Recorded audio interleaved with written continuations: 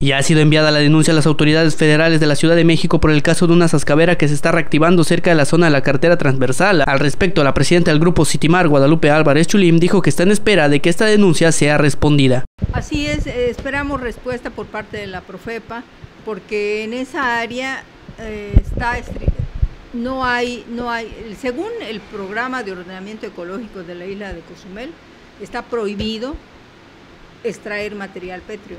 Entonces no me explico cómo le hicieron, como lo hacen siempre, ¿no? Piden perdón, ¿piden qué? Piden perdón. Mejor pedir perdón. Mejor piden perdón que pedir permiso. Pero las multas son muy fuertes.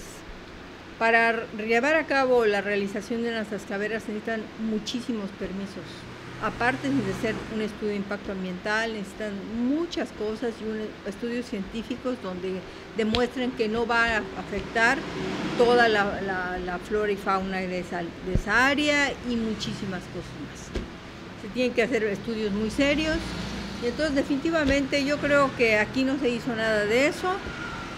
De repente les da, yo necesito SASCAP, este terreno es mío, vayan, explótenlo, lo rento, lo, me da la gana hacerlo, ya sea porque yo sea ejidatario, ya no sé de quién es, la verdad no lo sé, nunca me ha interesado el, nombre del dueño, simplemente estaba yo haciendo algunos trabajos por allá, estaba yo tomando unas fotos y vi ese lugar y le tomé fotos. Entonces, pues mandé las fotos, esperemos que se haga algo. De igual manera dijo que autoridades son las que deben intervenir para que se supervise el hecho de que si cuenta o no con los permisos correspondientes como el manifiesto de impacto ambiental. Bueno, en el, en el caso de la, de la, de la Sascavera, la, la, Profepa, porque así lo contempla el, precisamente el, artículo quinto de la LGPA y el, quinto de la, de la, del reglamento de la Ley General del Equilibrio Ecológico y Protección al Ambiente, en lo que corresponde a al subsuelo, a materiales pétreos. Entonces definitivamente están violando esa ley. No sé si ya vino el Estado a, meter desorden porque la, la, Profepa del Estado nada más ha servido para meter desorden, porque ellos siempre tienen conocidos, tienen amigos, tienen cuates y en lugar de ayudar estorban. Entonces, ojalá que no vengan porque esto es del ámbito federal también, no nada más del municipal o del estatal. Entonces está en el programa de ordenamiento ecológico, pero también está en la Ley General del Equilibrio Ecológico, Protección al Ambiente, donde que nos dice claramente que necesitan estudios, que yo creo que no realizaron porque los estudios realmente son muy, muy, cuestan mucho dinero. También se le cuestionó sobre qué gravedad en cuestiones ecológicas tienen estos trabajos y cómo deberían ser sancionados.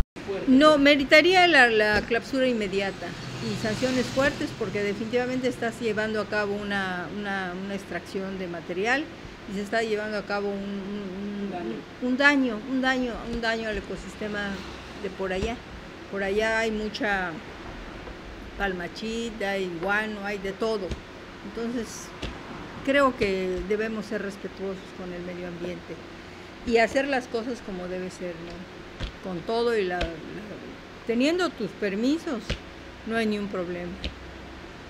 Pero si tú no tienes permisos, pues sí va a haber problema porque siempre habrá alguien que se fije de las cosas y nos diga qué está pasando y nosotros tomaremos cartas en el asunto. Ya basta de tanta, de tanta impunidad. Ya ves lo que está pasando y yo creo que cada día la, autoridad se está dando cuenta de que necesitamos aplicar la ley y que es importantísimo. hace tres días pasaron un, documental sobre humedales, la importancia que tienen los humedales, no nada más para la ciudad, para los cosmeleños, para los quintanarroenses, no. Los humedales nos están beneficiando a todo el mundo. Y fíjate que donde con todo y lo que luchamos y más luchamos en Quintana Roo, eh, México es el que tiene mayor cantidad de humedales en este momento porque desaparecen así como arroz. Nos da mucho trabajo a los ambientalistas hacer entender a los gobiernos que no lo que no se debe hacer. Pero bueno, afortunadamente pues este a regañadet, a regañadientes, pero nos hacen caso. porque hay leyes, hay leyes que están violando, no porque quieran. Información Iván Maldonado, Reporteros Sin Fronteras.